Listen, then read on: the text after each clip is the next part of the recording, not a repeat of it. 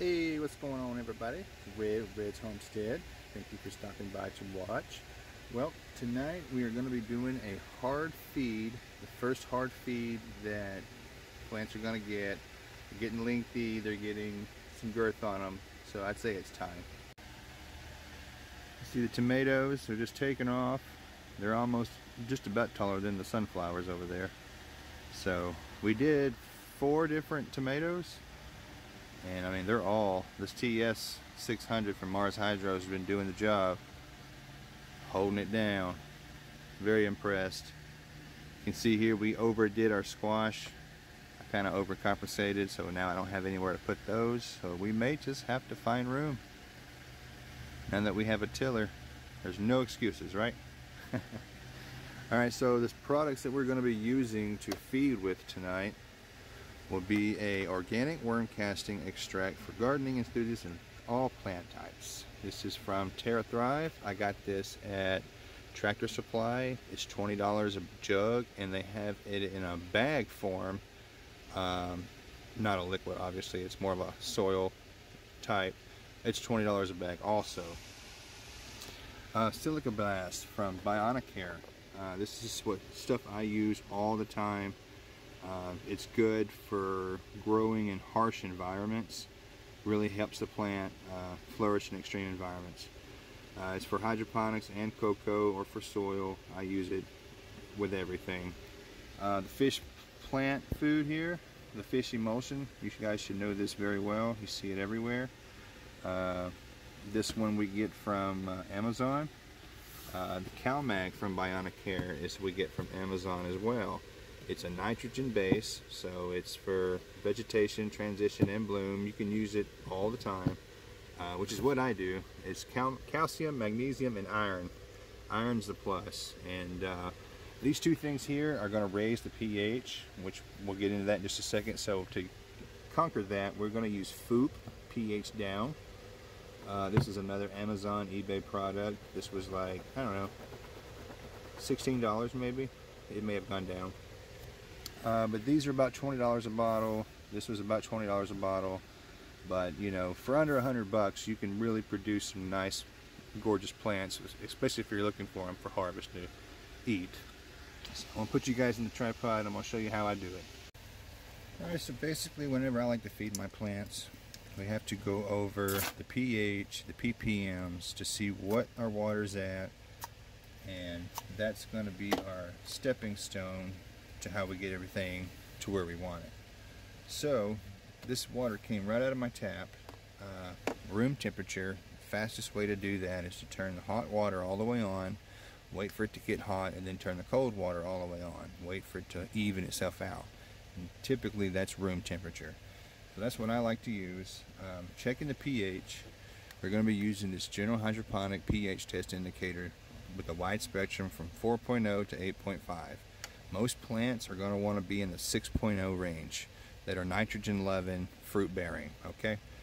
So that's the easiest way to remember. Tennis ball yellow is what we want.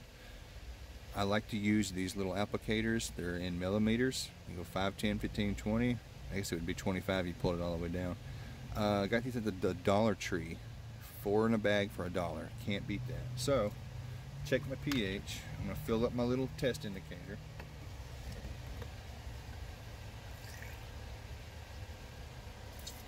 not all the way full. Take three drops of this stuff right here.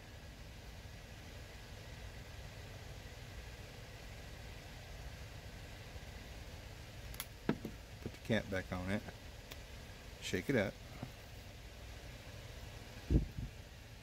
You can see it's more of a green. So we are in about, I'd call that 7.0. So we're about 7.0 right out of the tap. So we automatically going to have to bring that down to a more of a tennis ball color. And as we add the CalMag and the silica blast that we're about to use, it's going to raise our pH. Which is why we're going to be using the FOOP pH down. This is the CalMag from Bionicare. Anything that's ever liquid, shake it up. You don't know how long it's been sitting on a shelf or in a box somewhere. Shake it really good.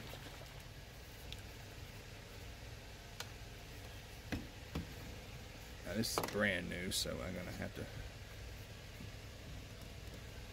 Let me something to stab it with.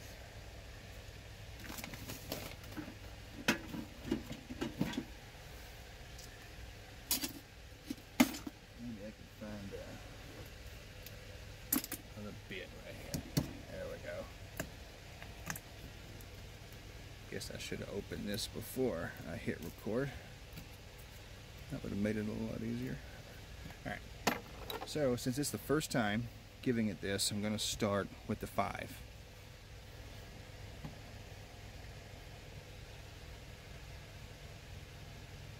Just like that, 5 milliliters of CalMag Plus.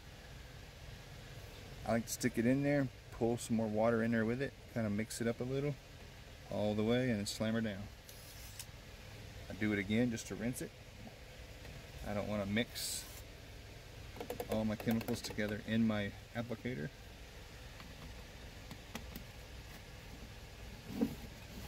Alright, silica blast from Bionic Care, same thing.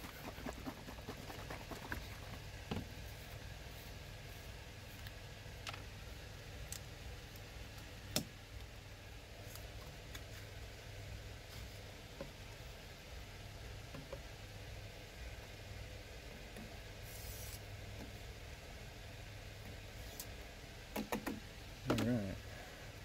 Now we put those two in there, we're going to give this a little stirring.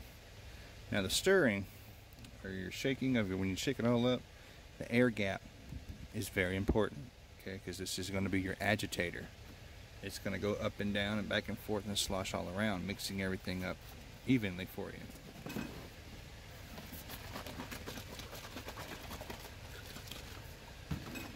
Alright. Now I'm going to check the pH again just to show you where it's at.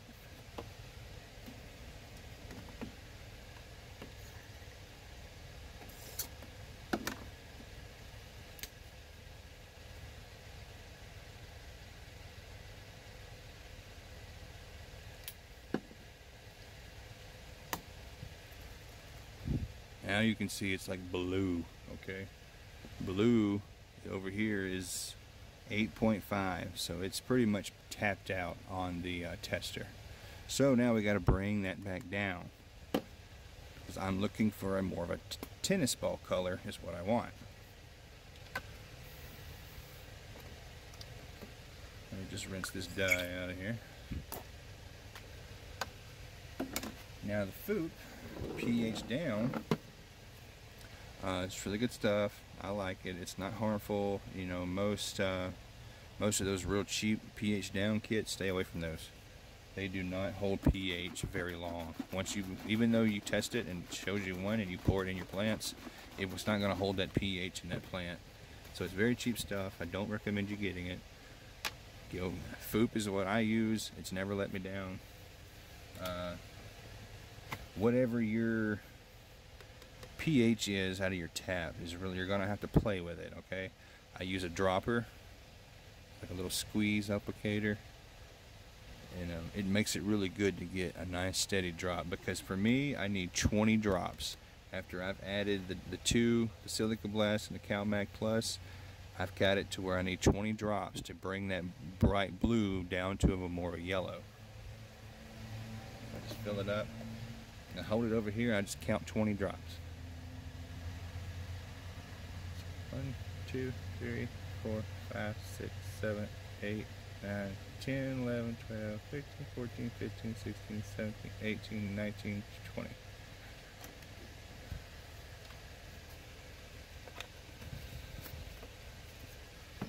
Alright, we'll give that a nice little shaking.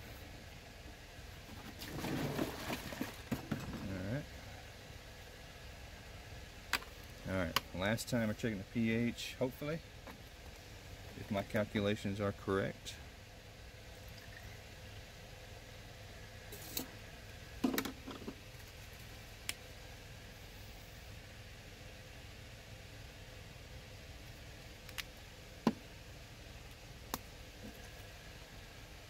Bam. Tennis ball yellow. That's what you want. All right, so after that, we've got our pH down where we want it. We've got our nutrients here. We come in here, we're going to add a little bit of this fish emulsion from Alaska. Just give it a nice shake and two because it's real thick and it'll come out like a like like toothpaste if you don't shake it up. And don't get any on you. This stuff stinks and I don't care what you wash your hands with, you're still going to smell it. It's not a good smell. Not a good smell. Just a little bit, maybe like a tablespoon if you can do it real slow. You just don't want much. And we made a mess. I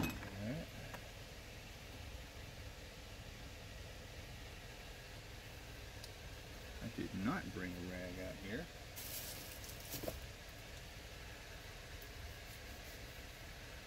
Alright, well, we're just going to have to man up and do it turn it upside down and shake because it will all go to the bottom. It's very heavy.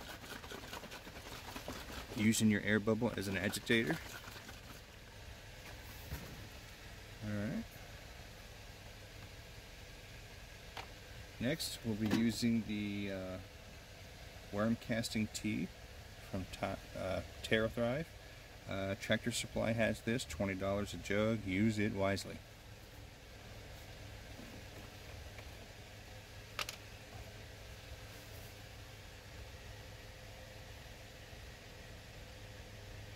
a little bit in there to make it raise up.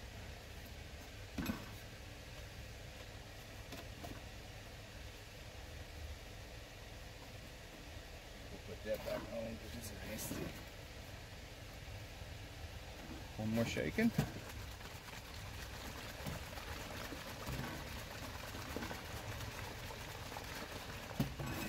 All right, and that's it. It is ready for watering. Alright, so I just use a uh, 2 liter bottle, drill some holes in the top. Makes it real easy, I can get in where I need to. give it a light little squeeze. Try to just run through them.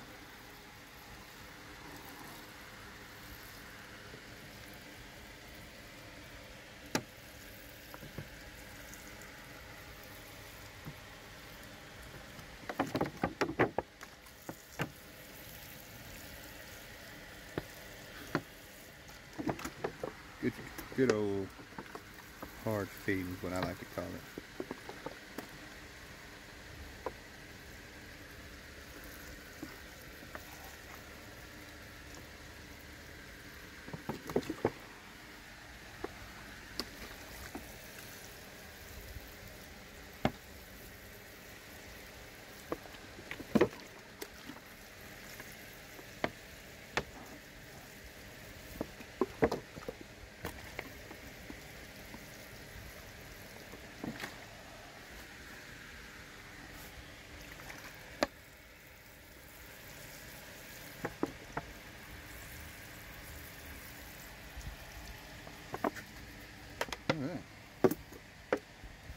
I think I had a couple fall over. I'm sure they'll stand back up. Get a little heavy. But see, this is what the silica blast is going to do. It's going to strengthen our stalks, make them more hard. Because you want your stalks to be more like a pencil. I do. I like to take them, just kind of check on them and squeeze them. Just feel the thickness in them want a good strong tomato. That's what I, that's what we're looking for.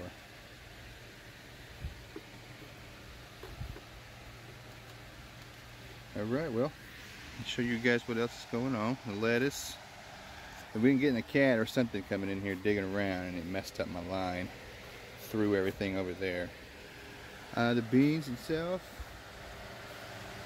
They're coming along great, climbing the trellis.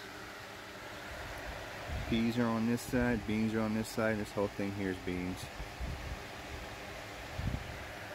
And the peppers, the peppers are taking off pretty good. I'm getting lots of mushrooms in my pepper bed. I don't know if you guys can see all those little white things. They're everywhere. They're all mushrooms. So, I saw a mushroom identification app. I need to try and see if I can't look them up, see what they are you can see the onions are laid down. Something got in here. Got the land on them or something. I'm not sure. Uh, but they had the hay from the strawberries all through over here. So it may have been a chicken. Chicken may have got in here. Pesky things. But alright guys. That's how I do it. I feed my plants. So y'all learn something. Go get the stuff to feed your plants and grow some good food. Alright, I see y'all.